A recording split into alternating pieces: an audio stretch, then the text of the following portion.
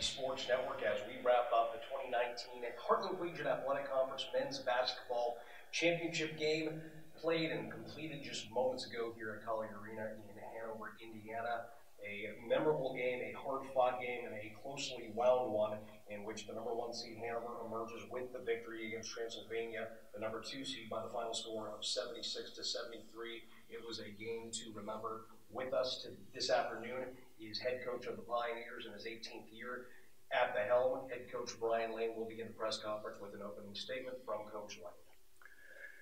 Well, I think it was it was just an awesome game, and, a game that uh, when, when these two teams have, have played over the years, they it, it always ends up being some terrific games, and I think the the su- success of both programs uh, has shown that um, when these two when these two get get in a game like this, that it uh, it's quite a battle. I mean, I was extremely proud of how how our guys. Um, you know, we got off to a really good start. Got up um, uh, as many as seven in the first half um, limited with foul trouble, and, and ended up after we when we subbed, we ended up um, losing that lead and, and getting uh, actually going going down. I thought the momentum really had shifted during that during that stretch when we had three guys with, with the two fouls, and um, but the guys came came in off the bench and the momentum really felt like it had shifted, but we were only down two or three points at uh, at the break. So. Um, we felt like all the way through throughout the game we uh, we were right there. Um, and then they got got a, a, really good stretch there where they, they pushed it out to nine. And, and as the guys uh, have done all year, they, they did not quit. They they were tough and, and got it all the way back to a to a tie score. So I was really proud of, of our effort. The you know all we ask of them is is to play hard and play play the, the, the very best that they can and and I think I think we, we got that tonight. I want to ask um, Schmidt, who was one of the uh, Shu, who was one of the starters. Um, he got two fouls and was fouled out all of a sudden. What exactly happened in that situation? Because everyone that was watching was kind of confused exactly what did the officials tell you? Right. He had he had three fouls, and uh, the the player caught it in front of um, Hanover's bench, and and he drove baseline uh, they called him, I guess, for, for a hand check. And then um, the, the official told me that, that Bo said, that's awful. And, and then the senior goes to the bench with five fouls. So, I mean, it's, it's disappointing. I mean, I, that I, I, I was expecting it to be worse, but, but those those were the words. But but also we have to, and we preach it all the time. You, you can't put you can't put somebody in a position to, to do that. I mean, you just you just can't. I mean, you just gotta. Um, we we've really worked hard on trying to respond and not react.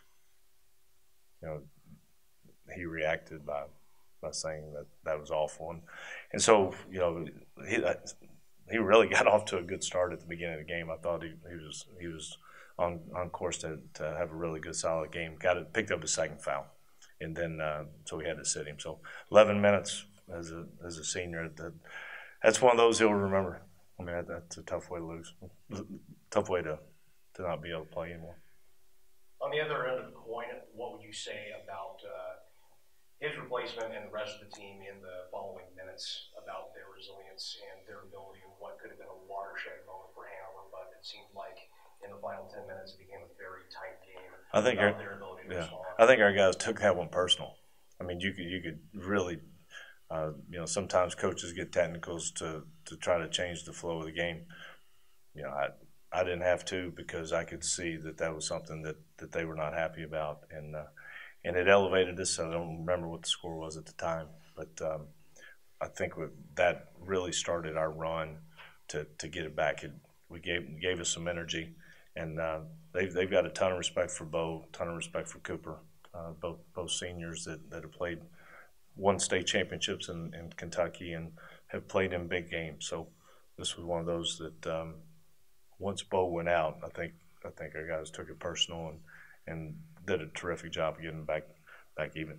With that being said, what with that being said, what a terrific job John Miller's done with, with Hanover. I mean, you know, we, we feel like we're playing good defense, and, and they shot 51%, 42% from from three.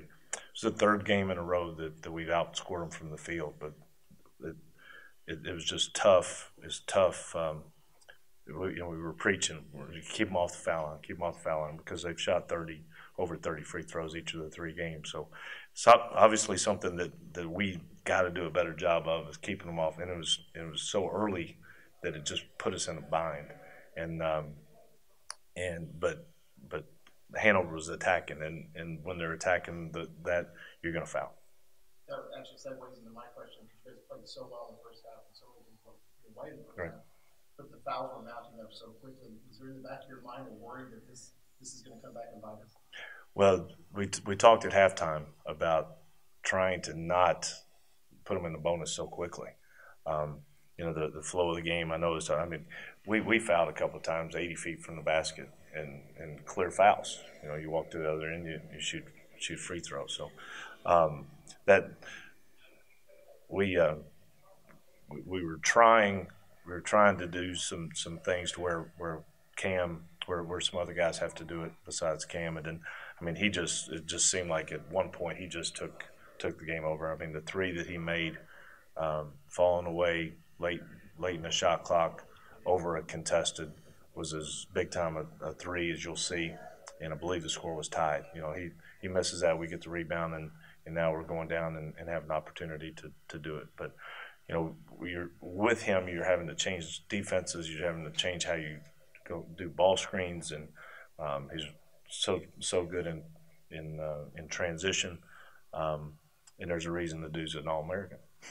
I mean, and and it takes more than one guy to guard him, and, and for the most part, uh, or he had six at the first, had six in the first half, um, and then you know had had thirty in the thirty in the game off of um, eighteen free throw attempts.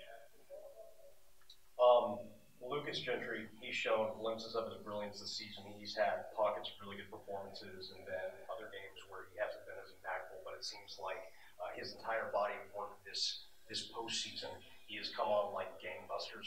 What do you think has unlocked Lucas Gentry over this weekend, seemingly when your team needs it the most? Yeah, I think one of the things that that really helped him, and anytime somebody gets hurt or injury, opportunity presents itself for somebody, and um, you know, when, when Luke Schroeder went out with, with mono and, and missed uh, three weeks of the season right at the tail end, um, we were asking guys to, to step up and, and give us give us more. Um, and and he's one of those guys that was able to do that. I mean, he, he got a knack of being able to score inside. Um, you know, he was eight fourteen from the foul from the from the field and, and perfect from the foul line. And um, you know, we were he was playing through contact, and and I, I, we were really just trying making sure that he he kept doing that. And um, but he he can score inside, he can score off the the flares and, and things like that. So um, he has gotten better you know, early in the season, we, we thought he may have to, to, to pull out for the season and um, and have another another um, another issue with with uh, with his hip like he did in high school. But he came out of that and then and then was able to really handle um, the physicality of, of what needed to take place. You have a you lose two great uh, few great seniors, but you have a pretty good core coming back. It's got to make you optimistic about what the future holds for the program.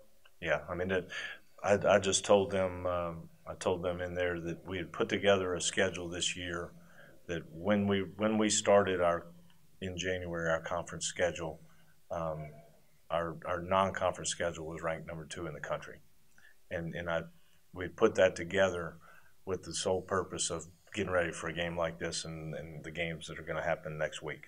Um, you know, we started off um, one and three. Gabe Schmidt had a concussion early, so he missed a couple of those games against some really, really tough teams. And there will be, uh, you know, of those teams um, with the first regional ranking, we were one and five against those teams, and felt like we, if we'd been three and three, all of a sudden we're sitting there at, at large because I, I don't want to I don't want to set up our schedule to where if I have a team like I do now that, that where I feel like we're really good enough to, to be an at-large team. I don't want the strength of schedule to keep us out of it at the end. and uh, so certainly the strength of schedule didn't keep us out. It was one of those situations where you got to go on the road and, and win some of those games, and, and we didn't get those games. Anything else? Once again, head coach Brian Lane of the Transylvania Pioneers on a great season in which the Pioneers finished from second place in the regular season as well as the tournament championship game.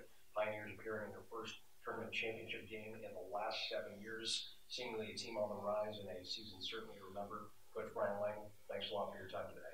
Thank you very much.